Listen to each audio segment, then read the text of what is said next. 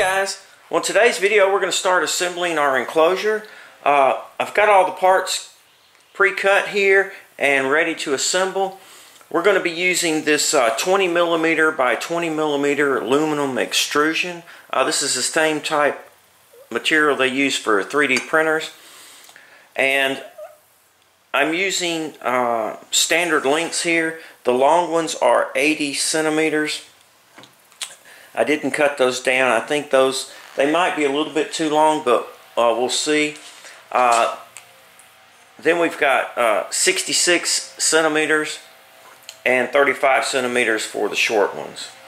We've got these three-way angle brackets, so they just slide into the piece like so. And then the upright goes in. And it makes for a nice uh, smooth corner. And you just tighten up uh, some set screws.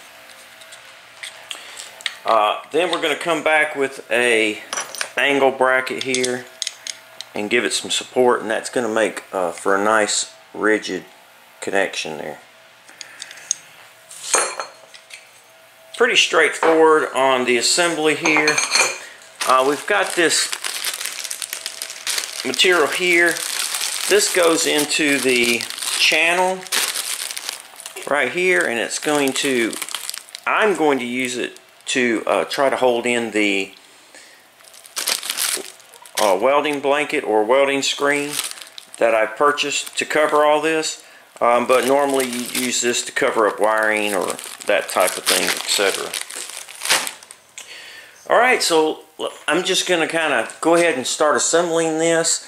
A couple of more things. Um, I'm going to have to put this inside the welding cart here, so actually I'm going to have to avoid these screws here, so I'm not coming back all, all the way to the ends here.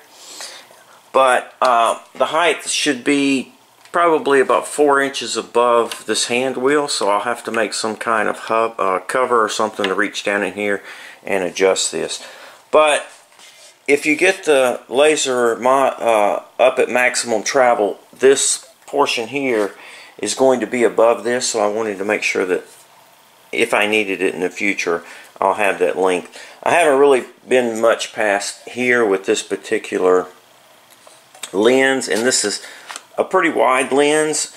Uh, some of the more concentrated lens, of course, you're going to be closer to the material, so I really don't think I'm going to need the extra height. So let's go ahead and I'm just going to assemble this and uh, we'll fast forward through this process.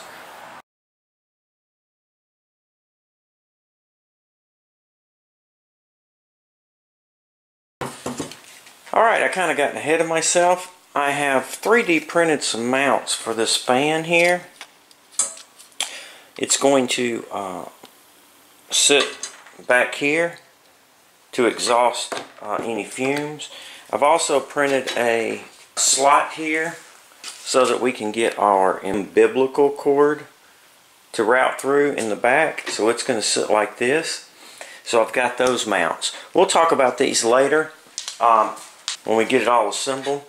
So this is going to slide over and this will catch the slot for the umbilical cord. And then this is the fan mount here. And it just, uh, I just modeled it up in Fusion 360. And it's going to just slide in here like so. We're not going to worry about the placement just yet. Um, this piece right here will slide down into the upright. And so it's going to mount the fan. That's going to keep it nice and steady. And then this will sit on the bottom piece here. Alright, so now I can go back with these two pieces in. I can go back and put this back together. Kind of got ahead of myself there. Alright, I've got uh, the uprights on. Uh, we just got to cap it off. This is pretty sturdy, just like this and for this enclosure it'll probably be fine but I did buy those 90 degree angle brackets so I'm going to slide those in alright I went ahead and assembled these now these are just quarter turns so once you uh, you don't have to disassemble to install them you can just slide them through the slot and then once you turn it it'll lock it in Kind of like uh, M-LOKs, if you're familiar with that. Alright, very sturdy. Now we can go ahead and get the top on.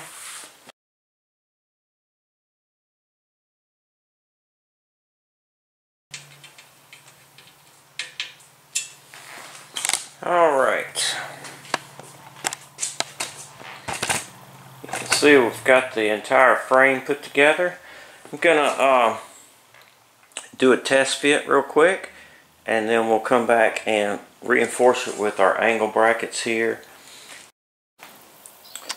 Alright, well, not thinking, had to take this piece out right here, this cross piece, sit it in here so I could get the uh, umbilical because it does not detach. Alright, so you can see how it just kind of sits down in here. I have to avoid these bolts. Your length right here might vary a little bit. I had to take this apart and remove uh, about five centimeters off, uh, five millimeters off of this. So the total length of these were 65.5 instead of 66. But you can see I've got the frame in here now. So I'm just going to go ahead and set the laser in here and um, continue on.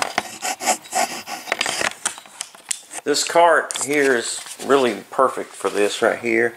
You can see the uprights there. It's all nice and tight. So I think this will work out really well. These may be, uh, these uprights might be a little too tall because you can see how much distance I have. But I'll put some kind of flap or access here so I can raise and lower this. Um, this right here will slide over like so. And then I've 3D printed these uh, split rings here. And so they'll mount something like this. And we will be able to access, this will be able to move up and down. Okay.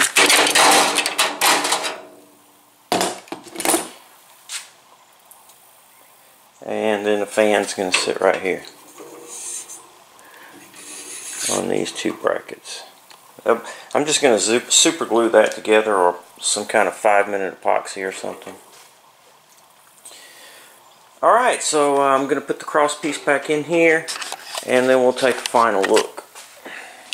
I have installed all the 90 degree brackets here to give it all the support that it needs uh, around the perimeter here uh, on the side frames. In the front here, I'm going to have the door, so I don't want to put an angle bracket here because the door actually uh, is inset a little bit, so it'll be kind of flush with the frame there.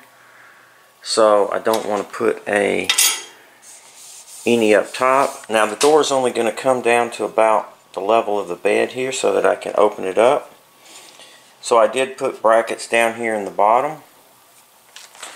And I've reinforced all these corners, as you can see here.